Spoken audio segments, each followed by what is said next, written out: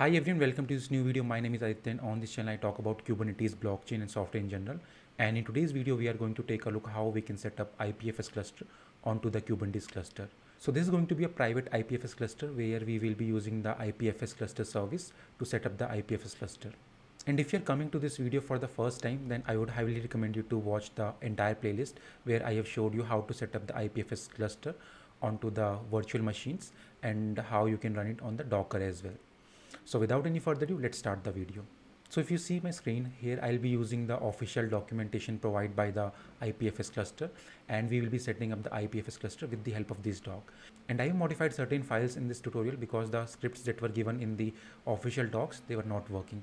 So if you see this screen, uh, we are into this page which is which says running cluster on the Kubernetes and I'll give the link to this documentation into the video description and here you can see we have to first create some kubernetes secrets and these are the cluster secret that we'll be creating and we'll be also creating the peer IDs as well. So in our setup, we will have three nodes where the first node will act as a master and the other two nodes will be joining that IPFS cluster service.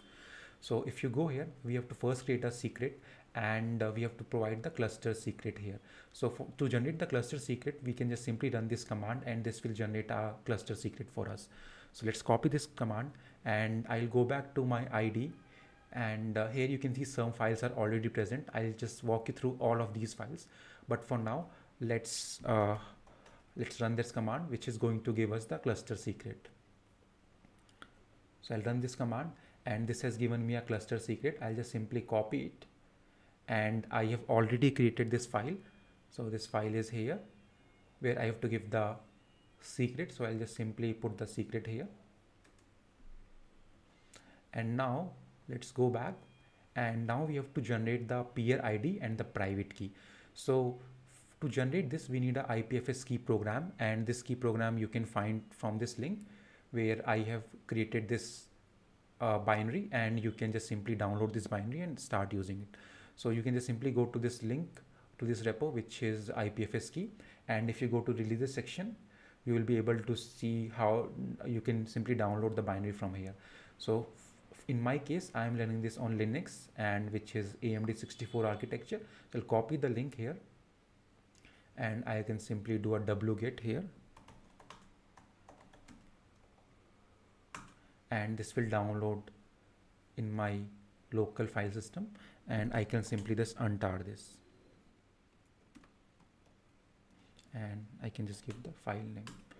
Now it has downloaded or extracted that thing and now I can just simply move this binary to my path variable so that I can access it from anywhere. So I'll just do sudo mv and I can just move it to slash user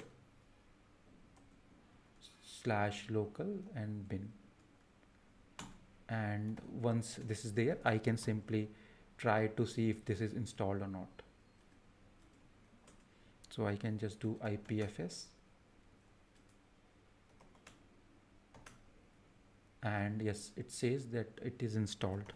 Now uh, we can I can just simply remove the other files which are not needed to me. I can just simply remove them.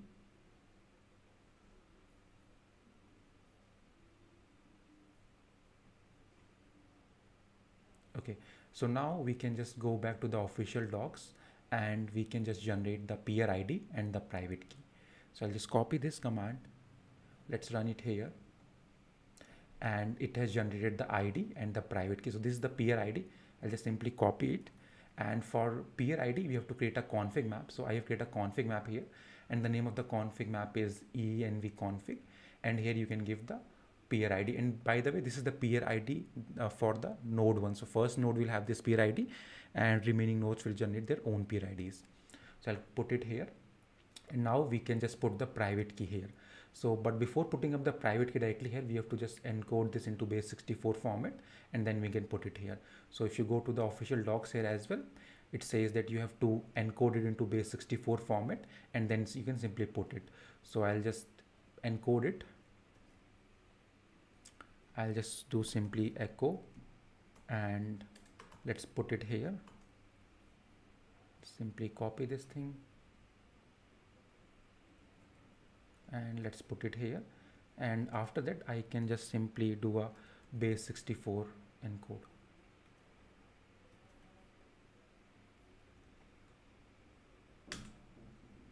Okay, so you can see we got the base 64 encoded value. And let's copy it. And let's put it here. So again, this is the private key. Uh, that's why uh, we are storing this in the form of Kubernetes secret. Uh, but for information which is uh, which can be accessed or which can be shared publicly, we have created a config map. So in our secret, we are just going to store cluster secret and the bootstrap peer private key. So this is the private key for the bootstrap peer and we are going to have one bootstrap peer and remaining uh, other peer nodes are going to join that bootstrap peer. Now we can simply clear this out and let's see the next steps that we have to do. So we have created this config map, uh, the secret, which has both the values, the cluster secret and the peer private key. Now we can simply define the stateful set and in the stateful set we are going to have three replicas which means that we'll have three instances and one instance is going to act as a bootstrap node and the remaining two are going to join that bootstrap node so uh, one thing just I want to show you is, is that we will have a init container section as well in the stateful set which is going to configure the nodes as per their role so first node will going to be the uh, it, it's going to act as a bootstrap node. So for that we'll have a separate script, but the other node is going to have uh, the the the normal role or the joining role. So we'll have we'll have a different script for that. So now let's go to the uh, stateful set. And uh, by the way, like this stateful set was not working on my uh, on my site, so I, I, I modified the stateful set. And if we go to uh, this file, uh, which is IPFS cluster, so here if I scroll down, you can see that it has three containers. One is the init container and another two are the normal container. So the first, the name of the init container is configure IPFS and this is running some command which is custom configure ipfs.sh and the script is mounted as a in the form of config map. So if you see here in the volume section, there is a uh, volume with name configure script that we are using here and this is coming from uh, this config map. So we'll have a config map with name IPFS cluster set bootstrap config. Let's go ahead and see this config map. So if you go to this first file, which is bootstrap script cm, here you can see that this is the config map and the name of the config map is same, which is IPFS cluster set bootstrap config and this has two files. So first is the entry point.sh and second one is the configure IPFS.sh. Let's go ahead and see uh, how we are using these files. So if we go to this IPFS cluster and in the init container, we can see that it's using configure ipfs.sh file. Let's go ahead and see this script. So it's using this configure ipfs.sh and in the script, what we are doing is we are just uh, making the uh, a directory where we can store the IPFS data. And then we are setting the user as IPFS and then we are doing some initialization. So we are just initializing the addresses. And if you look here carefully we are just setting up the I addresses on 0 the listen address on 0 dot 0 dot 0 instead of 127 dot uh, 0 dot 0 dot 1 because we want to make it accessible through any of the instances right? And we have we have set up some uh, other configurations as well here. And now let's go back to the IPFS cluster. And now let's go to the other container let's go to the first container. So this is the actual IPFS node and this is the Kubo node. This is the IPFS Kubo node. And if you see here, uh, it's going to run as is like the, normally, but there is one more container uh, which is running as a sidecar, which is the IPFS cluster. And this container is there to ensure the that we are running in the uh, services in the clustered mode. And this container is running the script called entrypoint.sh. Let's go ahead and see this script. So this was the script which is entrypoint.sh and what we are doing here is first we are just ensuring that if the if the cluster is already initialized so if it is initialized which means that we'll have a file called service.json if the file is not there then go ahead and initialize it. But if it is initialized then we are just simply going to update certain values from that service.json file. And what we are going to update is we are just going to change the listen addresses uh, to 0.0.0. So you can see here this we are just doing a uh, replace with the help of sed command and you can see that we are just replacing this uh, address with 0.0.0. Now after that we are just starting up the IPFS service, right? And uh, if it is a if it is a first peer then we are just going to start the service but if it if these are the other peers then we are just going to join that to the bootstrap peer so if you see here if that is the first peer uh, then it's going to start normally. But if these are the other peers then they are going to simply join that or bootstrap with the help of the first peer. So if you you can see that we are bootstrapping with the help of bootstrap address. Now this the change that I was talking about that I had to make certain changes in the script because uh, the, the the script that is given in the docs that was not working for me. So here you can see that I am in the DNS part. I have just given the service name and then I have given the zero which means that the first pod uh, because it's a stateful set so we'll have all the three instances in the form of IPFS cluster hyphen 0 IPFS cluster hyphen 1 IPS IPFS cluster hyphen 2 so first we are making the first instance as the bootstrap node. And if you see here, I have to just give the service name here as, again after dot because it was not working initially for me. So I have to give the service name after the dot, like I have to give the full DNS for that. Now uh, this was it in this script file. Now let's go ahead and uh, uh, see how we are mounting up those secrets. So if you see here, we are just mounting up the environment variable and this bootstrap peer id is present in this env config which is a config map and the key was bootstrap peer id let's go ahead and see it so if you see this config map uh, the config map name was env config and the date and the key was bootstrap peer id so same we are mounting up here as well in the form of environment variable. Now we are again mounting one another uh, variable which is which is bootstrap uh, peer private key. And you can see that this is coming from the secret not from the config map. And this coming from the the name of the secret is secret config. We can verify it here that the name is secret config. And this is the key which is uh, mounting up there now the other key that we are mounting is cluster secret and this is again coming from the uh, same secret which is secret config and the key name was there cluster secret. We can just go ahead and verify it here.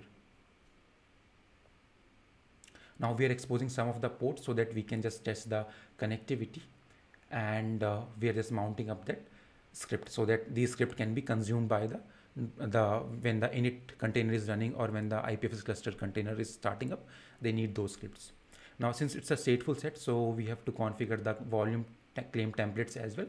And uh, uh, so we have we, we are defining two volumes here. First is for the IPFS cluster storage and second one is for the IPFS node. Now I, I'm giving the storage class as DO block storage because in my case I'm running this on the DigitalOcean and the cluster that I have that has a storage class called DO block storage. Now let's see the final file which is the IPFS service and this is the IPFS service. It's a load balancer service that I have created. I have created it as a load balancer so that I can just do some curl commands and verify if the things are working or not. And these are some of the ports that I have exposed here. Okay, so now let's start deploying these services onto the Kubernetes cluster. So I'll open my terminal here and I have already configured my kube config. So if I do kget pods, you'll be able to see that there is no pod here. And what I'll do, I'll just simply apply whatever is there in this current directory. And this should go ahead and create all the secrets, the config map and the stateful set as well. So let's see the secrets.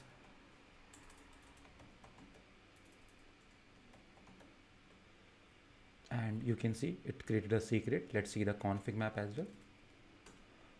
It has created the config map two config. One is the env config and another one is the ipfs cluster set bootstrap config. This has the those two scripts. Now let's see the stateful set if it is created or not. So it's still in creation phase. Let's see the pod. Okay so let's wait uh, for them to get grid. And meanwhile what we can do is we can see the start seeing the log of uh, this particular node or this particular pod. So I can just do k get logs. Just put the service name or the pod name and we can see we got the log but this is the log of the IPFS uh, node itself. Let's see the log of IPFS cluster pod.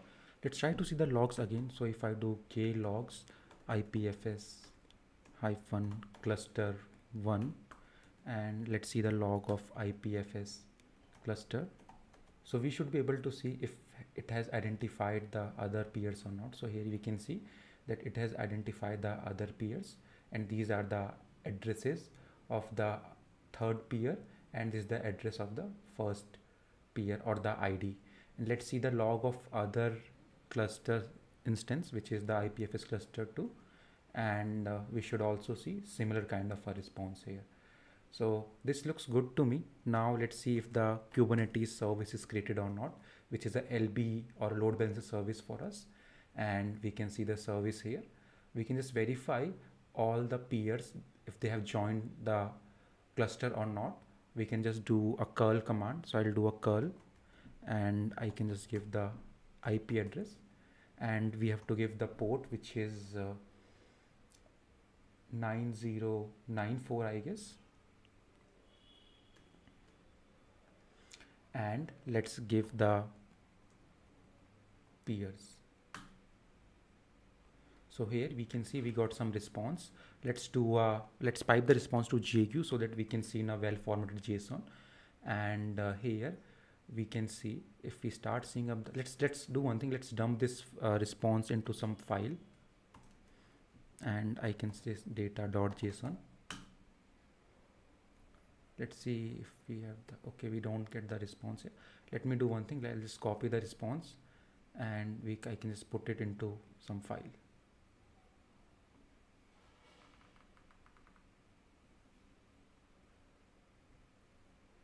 let's copy it and put it here.